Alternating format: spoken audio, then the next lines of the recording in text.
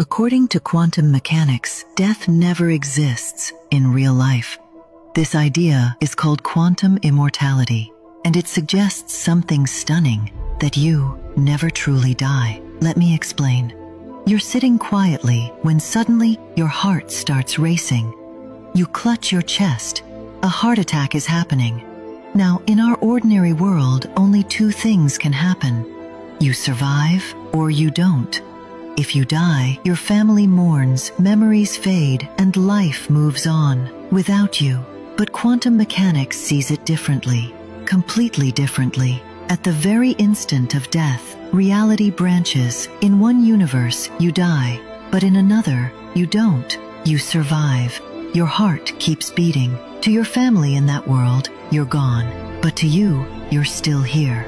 Just like a train switching tracks, your consciousness slides into the version of reality where you're still alive. It's like flipping a coin. In classical logic, it's heads or tails. But in quantum physics, it's both, each outcome splitting into its own universe. One version of you sees heads, another sees tails. Both exist, both move forward. This is the many worlds interpretation of quantum mechanics, a dazzling scientific theory revealing every possible outcome is real, each one alive in its own separate universe.